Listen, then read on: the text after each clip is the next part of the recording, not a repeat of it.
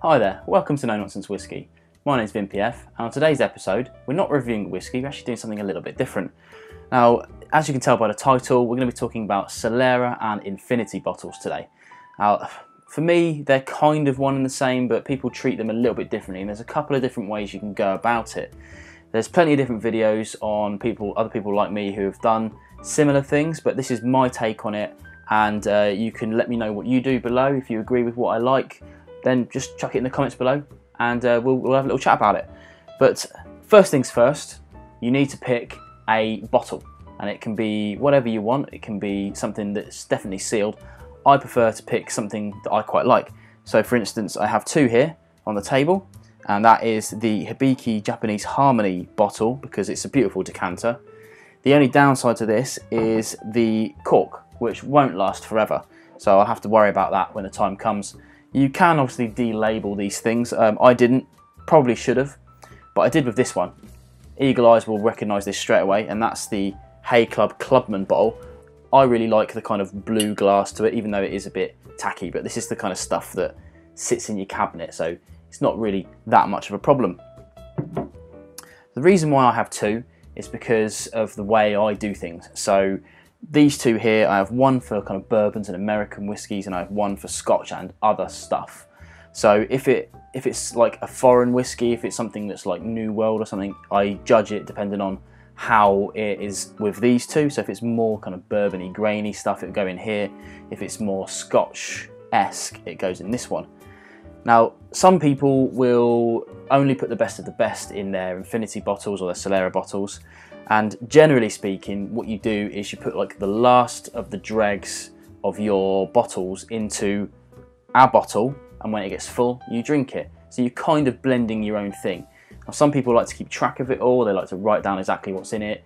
I don't do that. For me, this uh, I treat them as literally infinity bottles, so these things never dry out. So uh, you can see at the moment they're sort of roughly not, not even that drank at all. Same with this one, if you can even see that. Hold it up to the light. It's right at the top. I drink these constantly and I add to them constantly, but I only put in things that I really, really, really liked. Anything that I don't like, like the last video I just did, the Bell's 21, check that out up there, that doesn't go in there. Now the only downside of not curating it properly is that every now and again the whiskey in this bottle might taste a little off.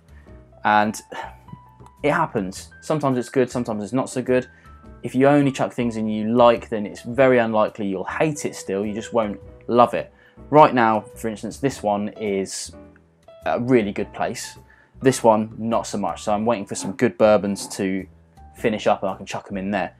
But I do fix them every now and again. I've got some new make spirit that I can raise the ABV very quickly and you can also chuck things in there like a bit of sherry just to, if you like the sherry cask flavors but if you really like your peated stuff it's very easy to, to, fix them because you can chuck in something very heavily peated just even half a dram and the whole thing just gets covered in smoke but that is kind of top tip number one is if you're not into smoky whiskies do not put a smoky whiskey in your infinity or solera bottle because it will taste like smoke for a very long time until you can kind of weed out that liquid.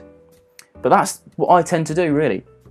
Literally, uh, if it gets to about halfway down and I've not been adding stuff to it because the bottles haven't been coming in, then I'll stop drinking that. That'll sit on the shelf and it'll stay there until I can get it to a reasonable level. So really, these never get below halfway and they kind of never really fill up either because I always want to make sure there's room in there for more drams. So what you can see here is a kind of a good level that I like to keep so if it's more than that, I'll make sure I drink it until it's down there and then start adding things to it again. As you can imagine, with the reviews that I do, I have uh, little dregs of samples after I've done my videos and stuff. They all go in here. So in these ones here, you've got anything from new make spirit to kind of 30, 40 year. I think even part of a 50 year blended from Boutique Whiskey Company ended up in here. But it's also got stuff that's a lot younger. If I liked it, it goes in there. I'm not fussy. But yeah, that's really my kind of very quick guide to infinity bottles. Everyone does it their own way. Uh, I don't really like to worry about what is in there because if you write it down and it looks great, you filled it up, great, but then what happens when you get down to here? If it's full of 50 year old stuff, you're not going to want to add anything to it, you're not going to want to finish it even. So for me, that doesn't really work. I prefer the kind of it like literally infinity bottle. It never dries out, but it's always changing, always changing. Sometimes growing, sometimes gets a little bit worse, but you kind of learn what works and what doesn't work.